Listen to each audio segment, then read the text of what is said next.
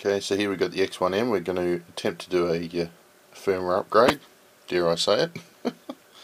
okay, so here we can see we're on uh, X1M Pro V1.00B USA, date uh, 18th of July 2013.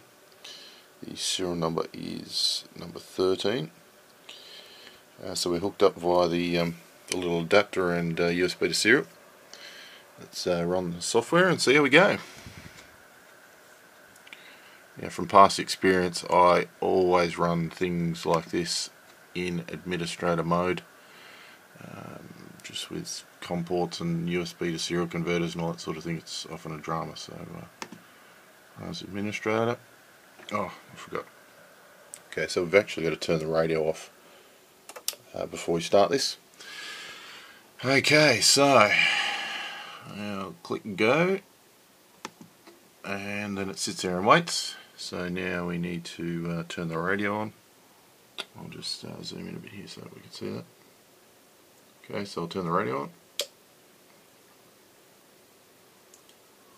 Okay, so the screen, LCD screen on the front of the radio is blank at the moment. Okay, so that looks like it's finished. And I'll just go back to the radio here. So we'll check this version.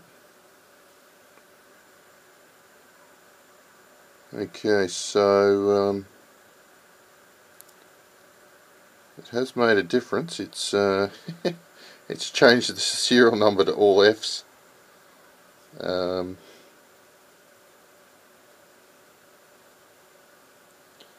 uh, what else? The date has changed to the 20th of July. Version number looks the same um, and the time has changed as well. So um, that's interesting. Anyway um, I'll have a look through the settings and features and what have you and see if anything has changed. And um, but it looks um, well it's obviously updated the firmware but uh, not quite right given that the serial number's now changed. Anyway we'll um, we'll have a bit more of a play and we'll see how we go at this stage, um, wouldn't recommend doing the upgrade. Uh, 7.3's VK3 TWO.